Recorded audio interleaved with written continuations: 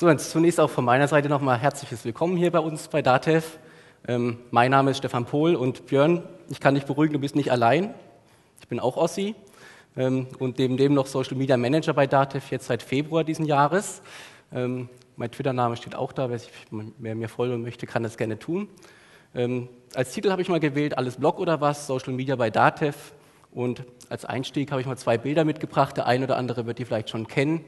Ähm, das sind Straßenschilder, beziehungsweise Schilder, die es auch in Unternehmen gibt. Die sind aus Amerika. Das rechte Schild ist ein Straßenschild, wo darauf hingewiesen wird, dass doch die Leute, bevor sie ihren Facebook-Status updaten, lieber nach rechts, links und rechts gucken, wenn sie die Straße überqueren. Und das linke ist ein Hinweisschild, das hängt tatsächlich dort in Unternehmen, ähm, dass die Leute, wenn im Fall eines Brandes in einem Unternehmen das Unternehmen erst verlassen, danach darüber twittern. Das ist auch so ein bisschen mein Aufruf an Sie oder an euch. Wir haben links und rechts hier die Notausgänge, also falls tatsächlich im Falle eines Brandes dann erst draußen, dann draußen twittern, das WLAN rechten weichen. Ähm, das soll einfach nur mal zeigen, dass tatsächlich das Thema Social Media schon so ein bisschen in der Gesellschaft angekommen ist, natürlich gerade auch im angloamerikanischen Raum, aber eben auch bei uns in Deutschland. Und warum nutzt jetzt DATEV Social Media? Warum hat DATEV mich eingestellt? Ähm, das hat natürlich einen Sinn oder das hat, äh, soll einen Sinn erfüllen. Und es geht einmal um das ganze Thema Reichweite. Denn wenn wir uns mit dem Thema Social Media beschäftigen, ist es eben tatsächlich mittlerweile auch einfach ein Reichweitenthema. Wir reden da über Facebook mit 24 Millionen Nutzern in Deutschland und das sind aktive Nutzer und das heißt, dass die mindestens einmal im Monat eben Facebook nutzen. Und wenn wir da mal so ein bisschen weggehen von diesem privaten Bereich, wo man sich vernetzt, ist es beispielsweise eine Plattform Xing, wo wir auch aktiv sind, wo es mittlerweile fast sechs Millionen Leuten darum geht, sich in einem professionellen Umfeld miteinander auszutauschen, sich miteinander zu vernetzen mit Kollegen, mit Partnern, mit Kunden und auch das ist natürlich was, was für uns immense Möglichkeiten bietet. Und wenn man mal ganz klassisch weggeht von diesen Social Media Plattformen, dann sind es in Deutschland. Deutschland ist ein ganz, ganz klassisches Forenland. Ähm, der eine oder andere kennt das Phänomen. Sie haben irgendein Problem mit dem Auto, mit der Waschmaschine, mit dem Fernseher, mit dem Rechner, mit was weiß ich. Dann googeln Sie das Ganze und Sie werden immer in irgendeinem Forum diese Antworten auch finden. Das zeigt einfach ganz extrem, dass in Deutschland Foren sehr, sehr stark genutzt werden. Und der vierte Bereich, wo man das Thema Reichweite ganz gut erkennen kann, ist das Thema Blogs. Ähm, wir haben mittlerweile in, in weltweit sind es fast 180 Millionen Blogs. Das sind natürlich nicht nur Corporate Blogs, wie Startev beispielsweise macht, sondern natürlich auch viele private Blogs zu den unterschiedlichsten Themen. Ob das in irgendwelche Panini-Sammlungen sind oder eben der Fußballverein oder was auch immer. Aber letztendlich zeigt eben das ganze Thema, dass es mittlerweile so eine immense Reichweite hat, dass es natürlich man dort auch seine Zielgruppen erreicht, und egal wie klein diese Zielgruppen sind. Beispielsweise eben, wenn man das Thema Facebook sich nimmt, ähm, selbst so eine Zielgruppe wie DATEV mit Steuerberatern, Rechtsanwältern und Wirtschaftsprüfern, die finden wir einfach dort mittlerweile und wollen deswegen auch in diesen, ähm, in diesen Plattformen entsprechend aktiv sein. Das nächste Thema ist das Thema Suchmaschinen. Früher war es eben so, da gab es diese gelben Seiten, diese riesigen Klopper halt irgendwie, da habe ich nachgeschaut, wenn ich eine Dienstleistung brauchte oder sowas, macht heute kein Mensch mehr. Also ich nehme die Dinger manchmal noch mit hoch und nach einem Jahr werfe ich sie wieder in den Müll. Mittlerweile suchen die, äh, suchen die Nutzer in Suchmaschinen nach Dienstleistungen, aber auch nach immer komplizierteren Themen. Und wir haben natürlich darüber die Möglichkeit, wenn wir in Social Media aktiv sind, wenn wir Themen für uns aufgreifen, die für uns wichtig sind, wenn wir Themen oder Inhalte zu Themen publizieren in verschiedenen Kanälen, ob das dann Video ist oder Text ist, ähm, auch haben wir eben die Chance, auch in den Suchmaschinen entsprechend gefunden zu werden. Das ist so der eine Aspekt. Und der andere Aspekt ist natürlich, dass auch diese Plattformen, in denen Datev aktiv ist, sehr, sehr gut ranken bei Google. Wenn ihr nachher mal nach Hause geht und euch die Mühe macht, ähm, bei Google mal nach Datev sucht, dann ist es eben so, dass wir auf der ersten Seite direkt fünf Social-Media-Plattformen finden. Das ist dann auch der Wikipedia-Eintrag von Datev, das ist natürlich der YouTube-Kanal, es ist die Xing-Gruppe, es ist Facebook und es sind die verschiedenen Blogs, die wir haben. Also das unterstreicht letzten Endes, wie relevant dieses Thema auch einfach ist. Der nächste Punkt ist natürlich das Thema Dialog, Interaktion. Es ist immer so, wir wissen auch, unsere Kunden reden über uns Unsere Kunden reden über uns in der Kneipe mit Freunden, in den Vorstandszimmern, mit ihren Kollegen oder, oder daheim mit der Ehefrau. Das Problem bei all diesen ähm, Dialogen, die stattfinden, wir können da nicht mitreden. Die Frau lässt uns nicht rein, die gibt uns nicht den Schlüssel und auch in die Vorstandszimmer kommen wir nicht rein. Das Schöne ist aber im Bereich Social Media, da können wir das tun. Wir können mithören, wir können hören, wer über uns redet, auf welchen Plattformen über uns geredet wird, mit welchen Themen über uns geredet wird. Das ist so der eine Aspekt und wir können uns dann sogar noch entscheiden, mitzureden. Wir können in den Dialog einsteigen. Wir können auf Kritik reagieren. Wir können auf kritische Nutzer, kritische ähm, Internetnutzer zugehen, ähm, denen versuchen zu erklären, warum wir Dinge so tun, wie wir sie machen. Ähm, und so eben letzten Endes auch versuchen, das, das Image letzten Endes, was eigentlich negativ war, dann auch wieder zu drehen. Das ist also eine Chance, die wir nur im Bereich Social Media haben und die es eben vorher ganz klassisch noch überhaupt nicht gab. Ein wichtiges Thema Die Ulla hat es vorhin angesprochen, die meisten von euch werden das Logo von Datev kennen. Dieses omnipräsente grüne Logo hängt an Bahnhöfen, Flughäfen, hier in der Stadt überall. Der eine oder andere kriegt es eben auf seiner Gehaltsabrechnung. Ähm, ob das dann so positiv oder negativ konnotiert ist, weiß ich nicht. Aber jeder kennt letzten Endes die Marke und das Logo. Das Problem bei der Sache ist, Menschen haben keine Lust, mit Marken zu sprechen. Menschen haben überhaupt keine Lust, mit irgendeinem grünen Logo zu sprechen und mit dem zu kommunizieren, sondern die wollen einfach mit den Menschen dahinter sprechen. Und da bietet natürlich Social Media ganz gute Möglichkeiten, weil im Bereich Social Media ist es so, es sprechen auch dort immer Menschen. Es sprechen Autoren, es sprechen unsere Vorstände, es sprechen unsere Mitarbeiter, es sprechen unsere Auszubildenden. Und letzten Endes sind es immer die Menschen, die DATEV entsprechend ausmachen.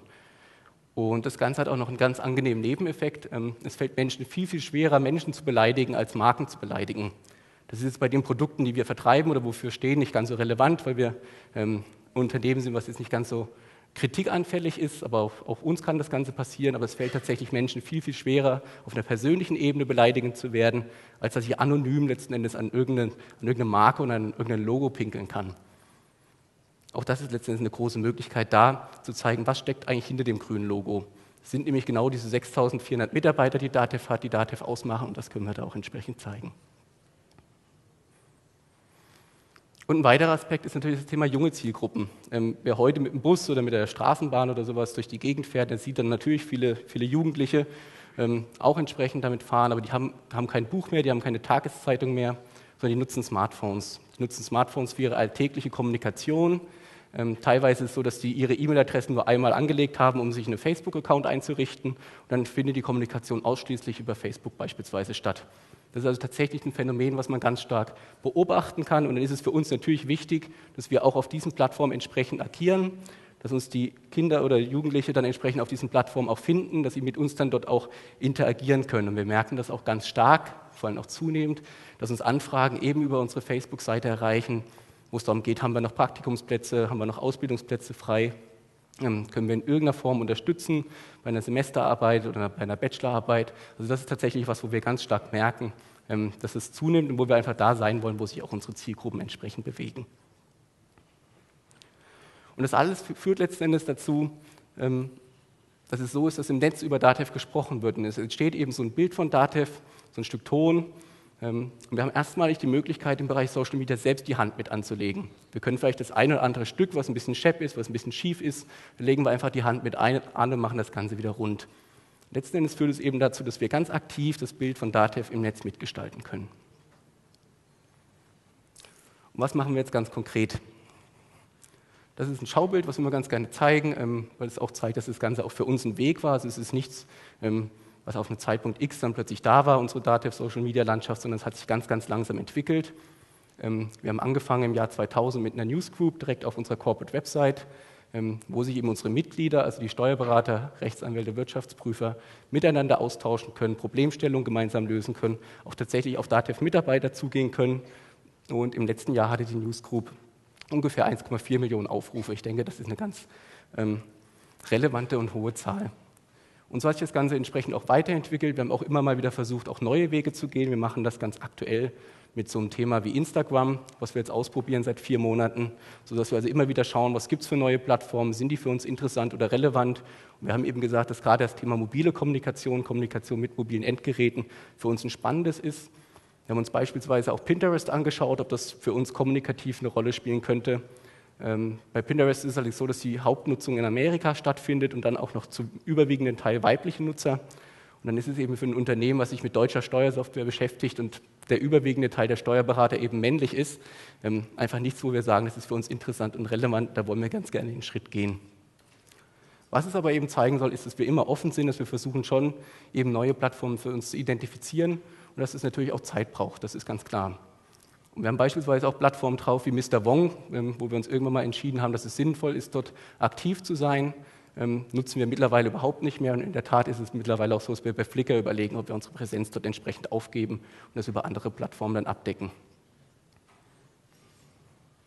Das nächste Schaubild, das erschlägt einen immer so ein bisschen, aber das, sowas braucht man einfach in einem großen Unternehmen wie Datev ähm, weil man dann immer seinem Chef und der dann seinen Chefs und sowas erklären muss, was soll das eigentlich alles und wie sieht das Ganze eigentlich hier aus und was wirkt da wie zusammen und ähm, welche Plattform haben wir überhaupt alle.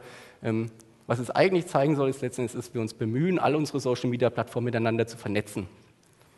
Dass wir also sowohl sagen, okay, wir greifen einfach mal Aspekte aus der Xing-Gruppe auf, schreiben darüber einen Blogbeitrag, den wir entsprechend dann auf unseren Kanälen wie Facebook, Google Plus publizieren, vielleicht noch ein weiterführendes Experteninterview auf YouTube, sodass wir letzten Endes tatsächlich alle Inhalte ähm, entsprechend zielgruppenspezifisch und plattformspezifisch darstellen können und eben diese Vernetzung unter den einzelnen Plattformen ähm, gewährleisten können. Und was man eben auch ganz gut sieht an dem Schaubild ist, dass wir die Corporate Blogs in die Mitte gesetzt haben.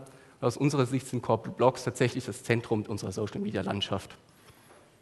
Und warum ist das Ganze so?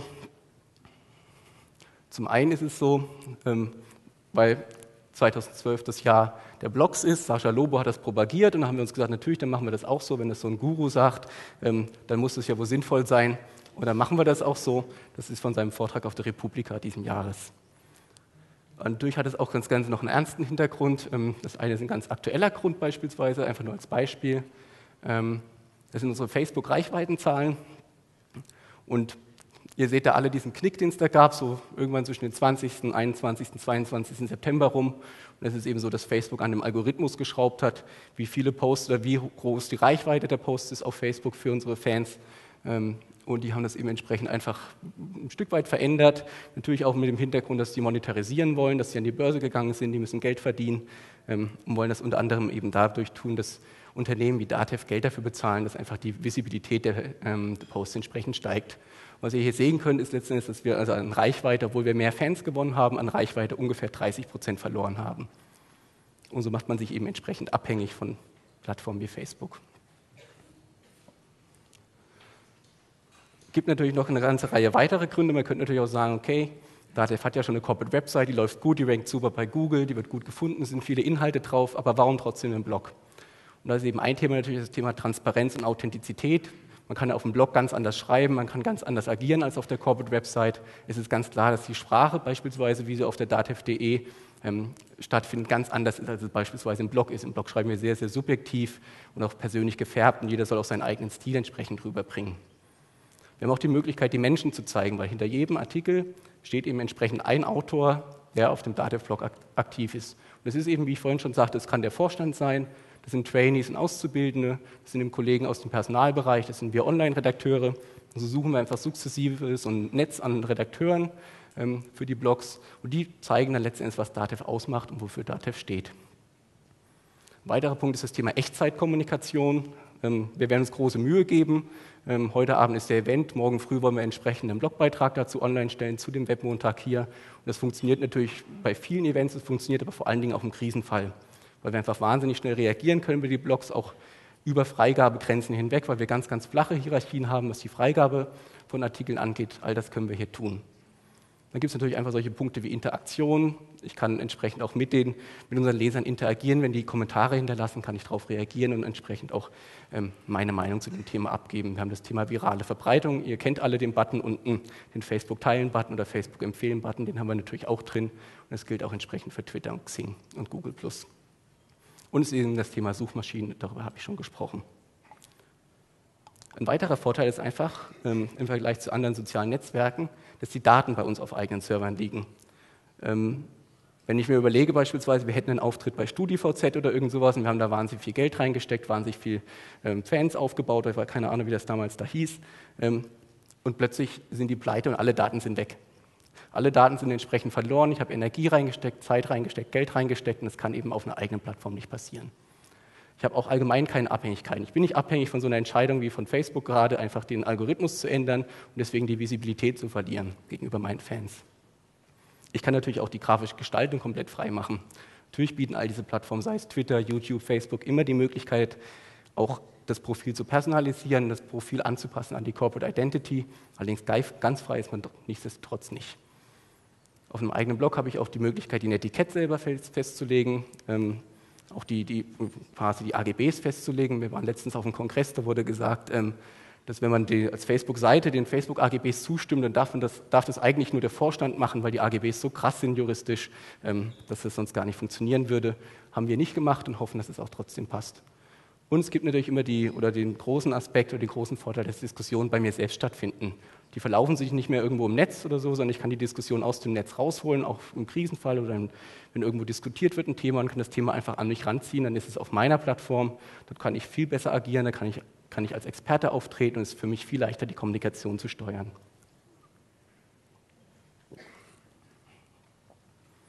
Und ganz konkret, ähm, wir hatten schon seit 2007 einen Azubi-Blog, den haben wir auf der datev.de integriert. Hatten seit 2010 haben wir einen Datev-Blog gehabt, den hatten wir immer zu, zur CeBIT als, als Tool der Messekommunikation. Und ähm, eine meiner ersten Aufgaben letztendlich war es aber mal zu überlegen, was kann man darüber hinaus machen. Und da sind wir natürlich relativ schnell drauf gekommen, ja, warum machen wir das immer nur zur CeBIT, ähm, den Datev-Blog, warum machen wir den nicht einfach weiter? Und das haben wir dann auch getan und haben uns mal so ein bisschen angeschaut, was hat Datev eigentlich so für Zielgruppen? Und die sind eben recht heterogen. Ähm, wir haben einmal unsere Mitglieder, das sind eben Steuerberater und Co. Ähm, wir haben dann auszubildende Studenten und Arbeitssuchende, also klassisch den Karrierebereich. Und wir haben dann die Mandanten unserer Mitglieder, Unternehmer. Und die sind einfach wahnsinnig heterogen. Ihr könnt euch vorstellen, die äh, Schüler und Studenten, die kann ich duzen, da kann ich ganz anders sprechen. Ähm, so ein Steuerberater, das ist schwierig. Den kann ich nicht einfach duzen. Die haben auch ganz andere Themen natürlich, die wir dann auch entsprechend adressieren müssen. Und deswegen war die Entscheidung natürlich ganz zwangsläufig, dass wir drei verschiedene Blogs machen. Den Datev-Blog eben für unsere Mitglieder, den Trialog-Unternehmer-Blog für die Mandanten der Mitglieder, den Karriere-Blog für die jüngeren Zielgruppen und dann haben wir noch natürlich eine integrierte Website ähm, gemacht, wo man auf alle Informationen gleichzeitig zugreifen kann. Wie sind wir vorgegangen? Wir haben uns halt natürlich auch mit Unterstützung von einer Agentur aus München ähm, sind wir rangegangen, haben ein Layout entwickelt für die verschiedenen Blogs. Wir haben uns Strukturen festgelegt, wir haben Funktionalitäten festgelegt, die uns wichtig waren. Ähm, wir haben gesagt, was für multimediale Inhalte wollen wir zulassen. Wir haben uns für ein technisches System entschieden. Bei uns ist das WordPress, was wir nutzen, weil es uns eben einen sehr einfachen Zugang ermöglicht. Ähm, sind danach auch rangegangen, wie können wir die Blogs vermarkten, weil es ist ja nicht so, ich schalte die live, schreibe ein bisschen was und wir kriegen Traffic drauf, sondern wir müssen uns natürlich schon überlegen, wie können wir die entsprechend auch bekannt machen, wie können wir die prominent machen. Ähm, da ist so ein Event wie heute natürlich eine wunderbare Möglichkeit, aber wir arbeiten dann natürlich auch an einer noch weiteren Seeding-Strategie, um einfach da auch die Awareness für die verschiedenen Blogs auch ähm, zu verbessern. Man muss ein Redaktionsteam festlegen. Ähm, das ist ganz wichtig. Bei uns ist es so, dass wer bei uns Redakteur werden möchte, der soll auch regelmäßig schreiben, dass einfach auch der Leser so ein bisschen ein Gefühl bekommt dafür, was sind dessen Themen, wie ist dessen Schreibstil. Ähm, dass also nicht nur einmalig mal jemand kommt und dann mal wieder schreibt und wieder nicht und dann kommt wieder Neues, sondern es soll tatsächlich ein festes Redaktionsteam sein bei uns. Ich muss Strukturen schaffen, die dafür geeignet sind, ähm, sowohl fachlich, ich brauche also das nötige Fachwissen, ähm, wie schreibe ich eigentlich einen Blogartikel, dass ich da nicht zu lang schreibe, ähm, solche Dinge. Ich muss zeitliche Strukturen schaffen. Es dauert einfach einen Moment, so einen Artikel zu schreiben, auch wenn ich sage, okay, ich mache nur ein paar Fotos hier heute Abend und stelle morgen eine Galerie online mit einem kurzen Text, aber auch das kostet Zeit. Und ich muss natürlich technische Infrastrukturen schaffen, die es auch den, den Mitarbeitern bei Datev eben ermöglichen, ähm, auf WordPress beispielsweise zuzugreifen, weil ihr euch sicherlich vorstellen könnt, bei uns ist es nicht ganz so leicht, immer Zugang zum Internet zu haben, weil einfach das Thema Datenschutz, Compliance für Datev wahnsinnig wichtiges ist. Und ich muss natürlich dann den initialen Redaktionsplan erarbeiten, den ich dann auch umsetze.